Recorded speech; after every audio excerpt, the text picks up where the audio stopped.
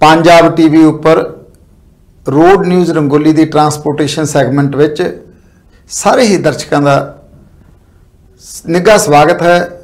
ਜੀ ਆਇਆਂ ਨੂੰ ਸਤਿ ਸ੍ਰੀ ਅਕਾਲ। ਮੈਂ ਹਾਂ ਤੁਹਾਡਾ ਹੋਸਟ ਜਤਿੰਦਰ ਜਸਵਾਲ। ਇੱਕ ਵਾਰ ਫੇਰ ਅਸੀਂ ਆਪਣੇ ਦਰਸ਼ਕਾਂ ਦੇ ਰੂਬਰੂ ਹਾਜ਼- ਹਾਜ਼ਰ ਹੋਣ ਜਾ ਰਹੇ ਹਾਂ।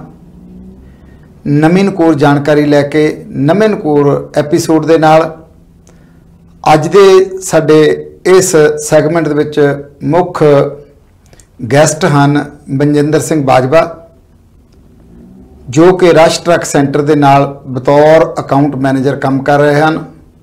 ਪਿਛਲੇ ਕਾਫੀ ਲੰਬੇ ਸਮੇਂ ਤੋਂ ਟਰੱਕਿੰਗ ਇੰਡਸਟਰੀ ਦੇ ਨਾਲ ਜੁੜੇ ਹੋਏ ਹਨ ਔਰ ਜੂਜ ਟਰੱਕਾਂ ਦੀ ਸੇਲ ਔਰ ਨਵੇਂ ਟਰੱਕਾਂ ਦੀ ਸੇਲ ਦੇ ਵਿੱਚ ਮਾਹਰ ਹਨ। ਅੱਜ ਅਸੀਂ ਉਹਨਾਂ ਦੇ ਨਾਲ ਗੱਲਬਾਤ ਕਰਾਂਗੇ। ਇੱਕ ਟਰੱਕ ਨੂੰ ਸਪੈਕ ਕਿਵੇਂ ਕਰਨਾ ਚਾਹੀਦਾ ਹੈ ਜਾਂ ਇਸ ਦੀ ਇੰਪੋਰਟੈਂਸ ਕੀ ਹੈ?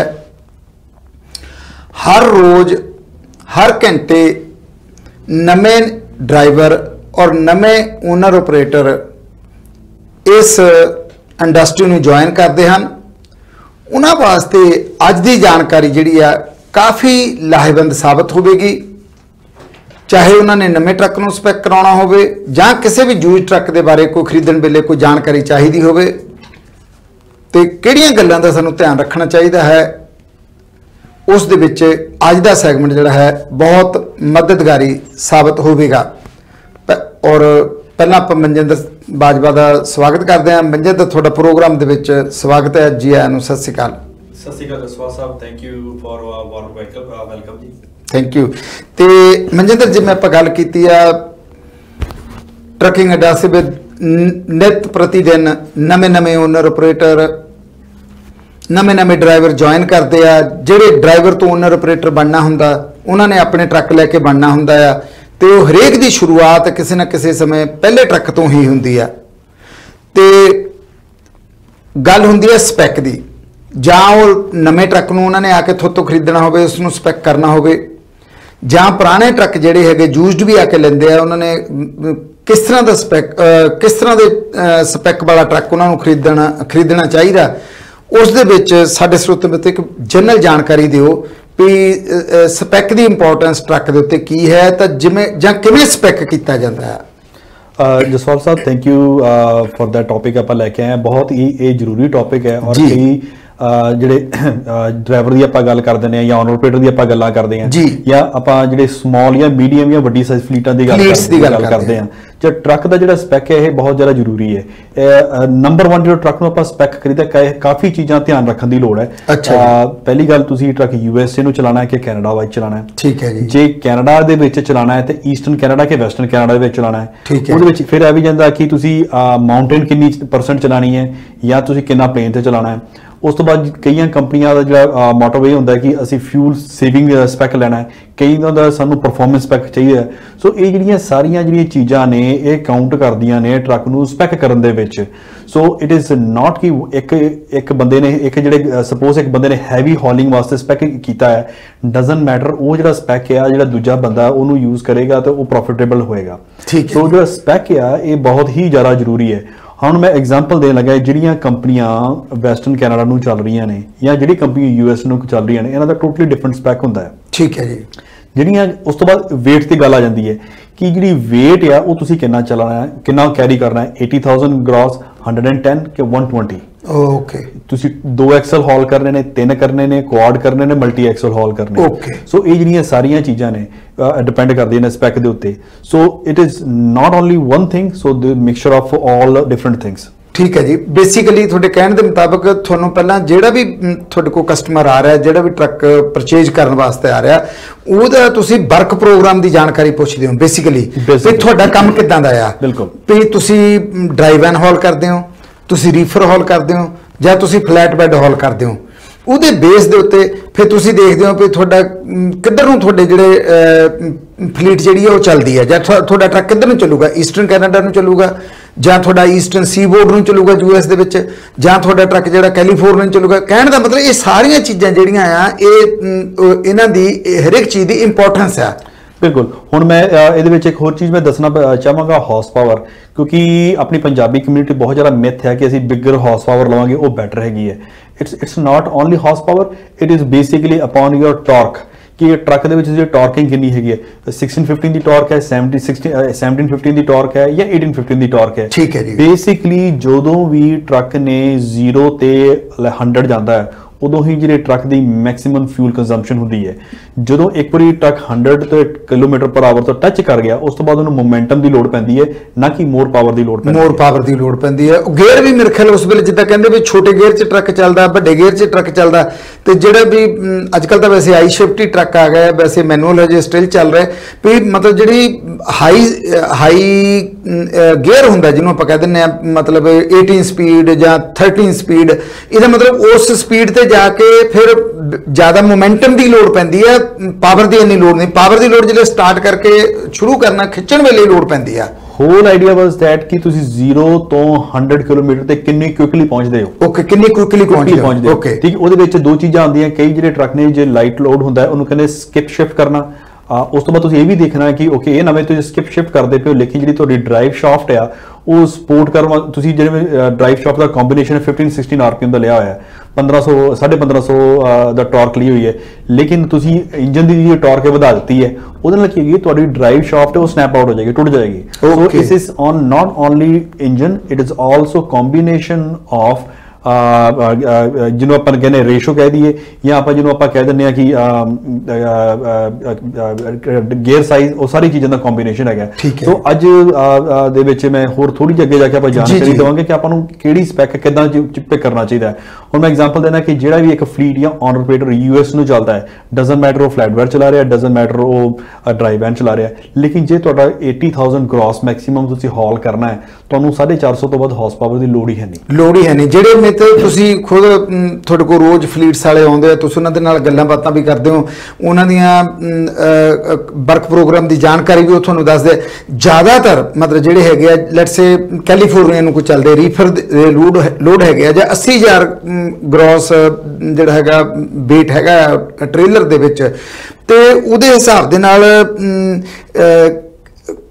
ਕਿੰਨੀ ਕੁ ਜਿਹੜੀ ਹਾਰਸ ਪਾਵਰ ਦੀ ਲੋਡ ਹੁੰਦੀ ਹੈ ਜਾਂ ਕਿੱਦਾਂ ਦੇ ਉਹਦੇ ਟਾਇਰ ਸਾਈਜ਼ ਕਿੱਦਾਂ ਦਾ ਰੇਸ਼ੋ ਦੀ ਕਿੰਨੀ ਲੋਡ ਹੁੰਦੀ ਇਹ ਨਾ ਹੋਵੇ ਬੰਦੇ ਨੇ ਅਮ, ਜਿਹੜਾ ਸਾਡੇ ਦਰਸ਼ਕ ਹੈਗੇ ਆ, ਉਹਨਾਂ ਨੇ ਟਰੱਕ ਲੈ ਕੇ ਜਾਣਾ ਡਿਟਰੋਇਟ ਤੱਕ ਹੀ ਆ ਉਹਨਾਂ ਦੇ ਲੋਡ ਹਲਕੇ ਲੋਡ ਹੈਗੇ ਆ ਉਹ ਭਾਰੇ ਨਹੀਂ ਲੋਡ ਪਰ ਉਹ ਹਾਰਸ ਪਾਵਰ ਉਹ ਜਿੱਦਾਂ ਤੁਸੀਂ ਕਹਿੰਦੇ ਪੂਰਾ ਦੀ ਸ਼ਾਇਦ ਉਹ ਕਹਿੰਦੇ ਮੈਨੂੰ 505 ਹਾਰਸ ਪਾਵਰ ਚਾਹੀਦਾ ਤੇ ਉਹ ਜੇ 505 ਹਾਰਸ ਪਾਵਰ ਲੈ ਲੈਂਦੇ ਆ ਤੇ ਫਿਰ ਉਹਦੇ ਨਾਲ ਉਲਟਾ ਐਫੀਸ਼ੀਐਂਸੀ ਦੇ ਉੱਤੇ ਜਾਂ ਪ੍ਰੋਫਿਟੇਬਿਲਟੀ ਦੇ ਉੱਤੇ ਕੀ ਨੁਕਸਾਨ ਪੈਂਦਾ ਜੀ ਓਕੇ ਸਭ ਤੋਂ ਪਹਿਲਾਂ ਜਿਹੜੇ ਆਪਾਂ ਰੇਸ਼ੋ ਤੇ ਗੱਲ ਕਰਦੇ ਨੇ ਕਿ ਜਿਹੜੇ ਰੇਸ਼ੋ ਜਿਹੜੀ ਹੈਗੀ ਉਹਦੇ ਬਹੁਤ ਜ਼ਿਆਦਾ ਮਿਥ ਹੈਗੇ ਨੇ.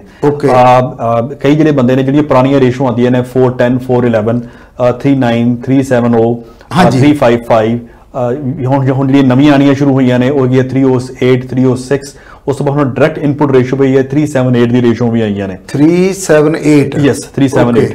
ਤੇ sorry 278 not 378 two- two seven, ਹੋਰ ਘਟੀ ਹੈ ratio। ਹੋਰ- ਘਟੀ ਹੋਰ ਘਟੀ ਘਟੀ ਹੈ ਤਾਂ ਬੇਸਿਕਲੀ ਜਦੋਂ ਵੀ ਆਪਾਂ ਟਰੱਕ ਨੂੰ ਸਪੈਕ ਕਰਦੇ ਆ ਹੁਣ it is not complicated stuff it's very simple stuff ਲੇਕਿਨ ਆਪਾਂ ਯਾਰ ਮਿੱਤਰ ਤੋਂ ਸੁਣਿਆ ਤੂੰ ਉਹ ਤੂੰ ਆਪ ਯਾਰ ਰੇਸ਼ੋ ਚੱਕ ਲਿਆ it's it's not like that ਤੁਸੀਂ ਆਪਣੇ ਕਿਸੇ ਵੀ ਅਕਾਊਂਟ ਮੈਨੇਜਰ ਕੋ ਜਾਓ ਉਹਦੇ ਨਾਲ ਬਹਿ ਕੇ ਜਿਹੜੇ ਰੇਸ਼ੋ ਨੂੰ ਜਿਹੜੀ ਸਪੈਕ ਕਰਵਾਓ ਦ ਰੀਜ਼ਨ ਇਜ਼ ਥੈਟ ਕਿਉਂਕਿ ਜਿਹੜੀ ratio is not only thing it's a combination of four things together Okay. Number 1 engine ਹੁਣ ਇੰਜਨ ਤੁਸੀਂ ਕਿਹੜਾ ਪਿਕ ਕੀਤਾ ਉਹਦਾ ਉਸ ਤੋਂ ਬਾਅਦ ਇੰਜਨ ਨੂੰ ਪਿਕ ਕਰਨ ਤੋਂ ਬਾਅਦ ਉਹਦਾ ਆਰਪੀਐਮ ਸਾਈਜ਼ ਕੀ ਹੈ ਇੰਜਨ ਦਾ? ਆਰਪੀਐਮ ਰੇਂਜ ਕੀ ਹੈਗੀ ਹੈ? ਮੋਸਟਲੀ ਜਿਹੜੇ ਨਵੇਂ ਇੰਜਨ ਆਏ ਨੇ ਉਹਨਾਂ ਦੀ ਆਰਪੀਐਮ ਰੇਂਜ 1150 ਤੋਂ ਲੈ ਕੇ 1450 ਦੇ ਵਿੱਚ ਹੈਗੀ ਹੈ। ਓਕੇ ਯਾਨੀ ਕਿ ਜਦੋਂ ਤੁਹਾਡਾ ਟਰੱਕ ਟਾਪ ਸਪੀਡ ਤੇ ਚੱਲੇਗਾ ਜਿੰਨੇ ਆਰਪੀਐਮ ਉਹਦੇ ਘੱਟ ਰਹਿਣਗੇ ਉਹਨਾਂ ਤੁਸੀਂ better- revolution per minute yes regulation permit ਉਹਨਾਂ ਤੁਸੀਂ ਬੈਟਰ ਫਿਊਲ ਐਫੀਸ਼ੀਐਂਸੀ ਉਹਦੇ ਵਿੱਚ ਕਰੋਗੇ। ਸੋ ਬੇਸਿਕਲੀ ਜਿਹੜਾ ਆਪਾਂ ਰੇਸ਼ੋ ਨੂੰ ਆਪਾਂ ਕਹਿ ਦਈਦਾ ਹੈ so ratio is a combination of four thing ਆ ਤੁਹਾਡੀ ਟਰੱਕ ਦੀ ਸਪੀਡ ਉਸ ਤੋਂ ਬਾਅਦ ਇੰਜਨ ਦੇ ਆਰਪੀਐਮ ਤੇ ਉਸ ਤੋਂ ਬਾਅਦ ਤੁਹਾਡਾ ਰੇਸ਼ੋ ਇਟਸੈਲਫ ਤੇ ਉਸ ਤੋਂ ਬਾਅਦ tyre size okay tyre size tyre size so ਇਹ ਕੰਬੀਨੇਸ਼ਨ ਇਹ ਸਾਰਿਆਂ ਦਾ ਹੈਗਾ ਇਹ ਜਿਹੜਾ ਸਾਰਿਆਂ ਦਾ ਕੰਬੀਨੇਸ਼ਨ ਤੁਸੀਂ ਤਿਆਰ ਕਰਦੇ ਹੋ ਉਸ ਤੋਂ ਬਾਅਦ ਤੁਹਾਨੂੰ ਰੇਸ਼ੋ ਦਿੱਤੀ ਜਾਂਦੀ ਹੈ ratio is basically last thing so. ਕਿਉਂਕਿ ਹੁਣ ਜਿਹੜਾ ਵੈਸਟਰਨ ਕੈਨੇਡਾ ਦਾ ਆਪਾਂ ਬੰਦੇ ਨੇ ਟਰੱਕ ਚਲਾਣਾ ਉੱਥੇ ਜਿਹੜੇ ਵੈਸਟਰਨ ਕੈਨੇਡਾ ਦੇ ਵਿੱਚ ਜਿਹੜੀ ਮੈਕਸਿਮਮ ਜਿਹੜੀ ਸਪੀਡ ਹੈ ਉਹ ਤੁਸੀਂ 105 ਦੇ ਹੈ ਸੌਰੀ 90 95 90 ਦੀ ਰੇਂਜ 'ਚ ਚੱਲਦੇ ਪਏ ਤੁਸੀਂ ਹਾਈ ਹਿੱਲਾਂ ਵੀ ਚਾਣੀਆਂ ਨੇ। ਹਿੱਲ ਵਿੱਚ ਚਲਾਉਣੇ ਉਹ ਵੈਸੇ ਬਿੰਦਨ ਕੈਨੇਡਾ ਮੰਨ ਲਓ ਤਾਂ ਜਿਹੜੀ ਅ, 22 ਲਾ ਦੀ ਸਪੀਡ ਹੈਗੀ ਉਹ 100 ਕਿਲੋਮੀਟਰ ਪਰ ਆਵਰ ਹੈ। Yeah. 100 ਵੱਧ ਤੋਂ ਵੱਧ ਤੁਸੀਂ ਅਬ 105 ਤੱਕ ਜਾ ਸਕਦੇ ਆ ਮਤਲਬ ਜੀ। ਜੇ ਜੇ- ਜੇ ਮਤਲਬ ਥੋੜਾ ਬਹੁਤਾ ਤੇਜ਼ ਵੀ ਚਲਾਉਣੇ ਆ ਤਾਂ। ਜੀ ਬਿਲਕੁਲ। ਸੋ ਉਹਦੇ ਵਿੱਚ ਕੀ ਹੈ ਕਿ ਹੁਣ ਤੁਸੀਂ ਮਾਊਂਟੇਨ ਦੇਖਣੀ ਤੁਹਾਡਾ ਮਾਊਂਟੇਨ ਕਿੰਨੀਆਂ ਆ ਰਹੀਆਂ ਨੇ ਵਿੱਚ?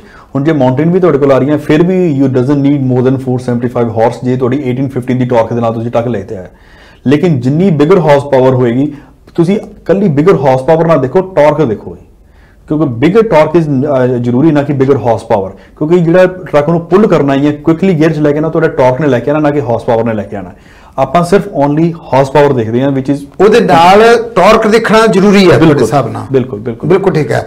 ਤੇ ਜਿਹੜੀ ਗੱਲ ਤੁਸੀਂ ਕੀਤੀ ਸੀ ਟਾਇਰਾਂ ਦੀ ਥੋੜੀ ਜੀ ਵੀ ਟਾਇਰ ਕਿੱਦਾਂ ਦੇ ਚਾਹੀਦੇ ਆ? ਟਾਇਰ ਜਿਹੜੇ ਦੋ ਤਰ੍ਹਾਂ ਦੇ ਟਾਇਰ ਜਿਹੜੇ ਹੈਗੇ ਆ ਮਤਲਬ ਇੱਕ 11R 22.5 ਇੱਕ ਆ ਗਿਆ ਅ, 11R 24.5 ਤੇ ਉਹ ਉਹ ਕਿੱਦਾਂ ਚੂਜ਼ ਕੀਤੇ ਜਾਂਦੇ ਆ? ਉਹ ਜਾਂ ਉਹਨਾਂ ਦੀ ਇੰਪੋਰਟੈਂਸ ਕੀ ਆ? ਵੀ ਜੇ ਕਿਸੇ ਨੇ ਮਤਲਬ ਕੋਈ ਹਿਲਸ ਦੇ ਵਿੱਚ ਚੱਲਣਾ ਤੇ ਉਹ ਕਿੱਦਾਂ ਦੇ ਟਾਇਰ ਹੋਣੇ ਚਾਹੀਦੇ ਆ? ਜੇ ਉਹਨਾਂ ਨੇ ਪਲੇਨਸ ਦੇ ਵਿੱਚ ਜਾਣਾ ਆ ਤਾਂ ਫਿਰ ਕਿਹੜੇ ਕਿਹੜੇ ਚਾਹੀਦੇ ਆ? 11R 22.5 ਚਾਹੀਦਾ ਜਾਂ 11R 24.5 ਜੀ? ਦੇਖੋ ਜੀ ਜਿਹੜਾ ਰੈਗੂਲਰ ਤੁਸੀਂ ਕੈਨੇਡਾ ਜਾਂ ਯੂਐਸ ਜਿਹੜੀ ਵੀ ਕੰਪਨੀ ਨੇ ਚਲਾਣਾ ਹੈ ਡਸਨਟ ਮੈਟਰ ਈਸਟਰਨ ਔਰ ਵੈਸਟਰਨ ਕੈਨੇਡਾ ਦੇ ਵਿੱਚ ਸਪੈਸ਼ਲੀ ਜੇ ਤੁਸੀਂ ਅਹ, ਅਹ, 80 ਤੋਂ ਲੈ ਕੇ 120 ਕ੍ਰਾਸ ਕਰਦੇ ਪਏ ਕੋਈ ਹੈਵੀ ਹੌਲਿੰਗ ਨਹੀਂ ਹੈਗੀ ਤੇ ਮੇਰੀ ਸੁਜੈਸ਼ਨ ਇਹ 22 ਪੁਆਇੰਟ ਜਿਹੜੇ ਆਰ ਦੇ 11R 22.5 ਉਹ ਆਈਡੀਅਲ ਟਾਇਰ ਹੈ ਇਸ ਸਮੇਂ। ਬਿਲਕੁਲ ਉਹ ਬਿਲਕੁਲ ਆਈਡੀਅਲ ਟਾਇਰ ਨੇ ਤੇ ਜਿਹੜੀ ਗੇਅਰ ਰੇਸ਼ੋ ਹੈ ਜੇ ਤੁਸੀਂ ਵੈਸਟਰਨ ਕੈਨੇਡਾ ਵਾਲੇ ਪਾਸੇ ਜਾ ਕੇ ਕੈਨੇਡਾ ਦੇ ਵਿਦਿਨ ਕੈਨੇਡਾ ਲੈ ਕੇ ਜਾਣਾ ਹੈ ਤੇ 355 ਤੁਸੀਂ ਪਿਕ ਕਰ ਸਕਦੇ ਹੋ ਲੇਕਿਨ ਜੇ ਤੁਸੀਂ ਯੂਐਸ ਵਾਲੇ ਪਾਸੇ ਜਾਣਾ 308 ਜਾਂ 268 ਜਿਹੜੀਆਂ ਛੋਟੀਆਂ ਨਵੀਆਂ ਰੇਸ਼ੋਜ਼ ਹੁਣ ਜਿਹੜੀਆਂ। ਆਈਆਂ ਉਹ ਜ਼ਿਆਦਾ ਫਿਊਲ ਇਕਨੋਮਿਕਲ ਆ. ਉਹਨਾਂ ਜਿਹੜੀ ਫਿਊਲ ਦੀ ਬਚਤ ਬਹੁਤ ਹੋਏਗੀ। ਫਿਊਲ ਦੀ ਬਚਤ ਮੀਨਸ ਵੀ ਤੁਹਾਡੀ ਜੇਬ ਦੇ ਵਿੱਚ ਵੱਧ ਪੈਸੇ। That's correct and second thing ਕਾਫੀ ਜਿਹੜੇ ਡਰਾਈਵਰ ਇਹ ਕੰਪਲੇਨ ਕਰਦੇ ਨੇ ਕਿ ਦੇਖੋ ਜੋ ਦੋ ਚੀਜ਼ਾਂ ਤੁਹਾਨੂੰ ਇਕੱਠੀਆਂ ਨਹੀਂ ਮਿਲਦੀਆਂ। ਜਾਂ ਟਰੱਕ ਨੂੰ ਤੁਸੀਂ ਫਿਊਲ ਸੇਵ ਬਣਾ ਲਓ ਜਾਂ ਟਰੱਕ ਨੂੰ ਪਰਫਾਰਮੈਂਸ ਬਣਾ ਲਓ। ਠੀਕ ਹੈ ਜੀ। ਬਾਕੀ ਦੇਖੋ ਜੀ ਜਿਹੜਾ ਪਰਫਾਰਮੈਂਸ ਤੇ ਫਿਊਲ ਸੇਵਿੰਗ ਦੇ ਵਿੱਚ ਸਿਰਫ ਫ਼ਰਕ ਇੰਨਾ ਹੈ ਕਿ ਜਿਹੜਾ ਫਿਊਲ ਸੇਵਿੰਗ ਟਰੱਕ ਹੈ ਉਹ 1 ਤੋਂ ਲੈ ਕੇ ਜਿਹੜਾ 100 ਦੇ ਵਿੱਚ ਜਿਹੜੇ ਉਹਨੇ ਪਹੁੰਚਣਾ ਹੈ ਤੇ ਜਿਹੜਾ ਪਰਫਾਰਮੈਂਸ ਨੇ ਪਹੁੰਚਣਾ ਹੈ ਵੱਧ ਤੋਂ ਵੱਧ 1 ਜਾਂ 1.5 ਮਿੰਟ ਦਾ ਫ਼ਰਕ ਪੈਣਾ। ਓਕੇ ਉਹ ਦੇਖੋ ਜੀ 1.5 ਮਿੰਟ ਤੁਸੀਂ ਛੇਤੀ ਚੱਲਣ ਦੇ ਵਿੱਚ ਤੁਸੀਂ ਫਿਊਲ ਵੱਧ ਖਰਚਦੇ ਹੋ ਉਹ ਸੈਂਸ ਨਹੀਂ ਬਣਦੀ। ਸੈਂਸ ਨਹੀਂ ਬਣਦੀ। ਸੋ। ਆਈ ਬਲੀਵ ਥੈਟ ਤੁਸੀਂ ਆਪਣੇ ਆਪ ਹਰ ਇੱਕ ਜਿਹੜਾ ਡਰਾਈਵਰ ਆ ਚਾਹੇ ਉਹ ਫਲੀਟ ਓਨਰ ਆ ਹਰ ਆਪਾਂ ਇੱਕ ਦੂਜੇ ਨੂੰ ਐਜੂਕੇਟ ਕਰੀਏ ਕਿ ਵੀ ਜਿਹੜਾ ਕੋਈ ਦੇਖੋ ਜੀ ਅਲਟੀਮੇਟਲੀ ਫਿਊਲ ਸੇਵ ਹੋਏਗਾ ਉਹਦੇ ਨਾਲ ਕਿੰਨੇ ਬੈਨੀਫਿਟ ਹੈਗਾ? ਨੰਬਰ 1 ਤੁਹਾਨੂੰ ਆਪਣਾ ਬੈਨੀਫਿਟ ਹੈ। ਨੰਬਰ 2 ਜਿਹੜੀ ਤੁਸੀਂ ਕੰਪਨੀ ਐਜ਼ ਏ ਡਰਾਈਵਰ ਕੰਮ ਕਰਦੇ ਹੋ ਕੰਪਨੀ ਨੂੰ ਬੈਨੀਫਿਟ ਹੈ। ਨੰਬਰ ਤੁਸੀਂ এনवायरमेंट ਨੂੰ ਘੱਟ ਪੋਲੂਟ ਕਰਦੇ ਪਏ ਘੱਟ ਪੋਲੂਟ ਕਰਦੇ ਪਏ ਬਿਲਕੁਲ ਸਹੀ ਗੱਲ ਹੈ ਤੇ ਉਹ ਅੱਜ ਕੱਲ ਜਿਹੜੇ ਆਮ ਮੰਜੇ ਦੇ ਦੇਖਣ ਦੇ ਵਿੱਚ ਆ ਰਿਹਾ ਟਰੱਕ, ਅਲੱਗ-ਅਲੱਗ, ਜ਼ਿਆਦਾਤਰ ਜਿਹੜੇ ਹਾਈਵੇ ਸਪੈਕ ਵਾਲੇ ਟਰੱਕ ਹੈਗੇ ਮੈਂ ਦੇਖਿਆ 455 ਹਾਰਸ ਪਾਵਰ ਨੂੰ ਜ਼ਿਆਦਾ ਚੁਣਦੇ ਆ। ਰੇਸ਼ੋ ਜਿਹਦਾ ਤੁਸੀਂ ਦੱਸਿਆ 308 ਤਾਂ ਘੱਟ, ਨਹੀਂ ਤਾਂ ਜਿਹੜੀਆਂ 3 3.32 ਜਾਂ 3.36 ਹਜੇ ਤੱਕ ਇਹ ਕਾਮਨ ਜਿਹੜੀਆਂ, ਪਰ ਜਿੱਦਾਂ ਹੁਣ ਤੁਸੀਂ ਦੱਸਿਆ, ਜਿਹੜੇ ਮੇਬੀ ਜਿਹੜੇ ਹੁਣ 2021 ਮਾਡਲ ਦੇ ਟਰੱਕ ਨਵੇਂ ਮਾਰਕੀਟ ਦੇ ਵਿੱਚ ਹੁਣ ਆ ਚੁੱਕੇ ਆ ਜਾਂ ਆ ਰਹੇ ਆ, ਉਹਨਾਂ ਦੇ ਵਿੱਚ ਜਿੱਦਾਂ ਤੁਸੀਂ ਦੱਸਿਆ, ਹੋ ਸਕਦਾ 2.68 ਰੇਸ਼ੋ ਜਿਹੜੀ ਆ, ਉਹ ਵੀ ਹੋਏਗੀ। ਨਹੀਂ ਕਿ ਹੁਣ ਮੈਂ ਦੱਸ ਦਿੰਦਾ ਇਹਦੇ ਵਿੱਚ ਕੀ ਫ਼ਰਕ ਹੈਗਾ ਦੋਨੋਂ ਰੇਸ਼ੋਆਂ ਦਾ 3 ਤੇ ਤੇ 2 ਦੇ ਵਿੱਚ ਅੱਛਾ ਜੀ। ਜਿਹੜੀਆਂ ਵੀ 2 ਦੇ ਨਾਲ ਸ਼ੁਰੂ ਹੁੰਦੀਆਂ ਨੇ ਰੇਸ਼ੋਆਂ.